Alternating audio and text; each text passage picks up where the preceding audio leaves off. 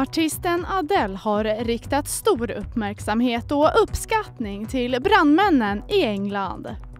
Hon besökte nämligen en brandstation för att bjuda några av brandmännen på tårta.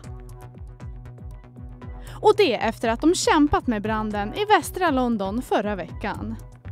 Och brandmännen, likt Adeles följare, hyllar nu överraskningen på sociala medier.